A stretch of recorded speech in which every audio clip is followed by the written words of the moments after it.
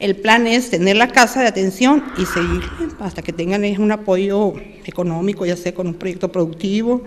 Ahí veríamos. Está el capital humano, te diríamos, ¿no? Capital humano que son las compañeras que están organizadas, compañeras que son de, de la etnia, que manejan lo que es el dialecto.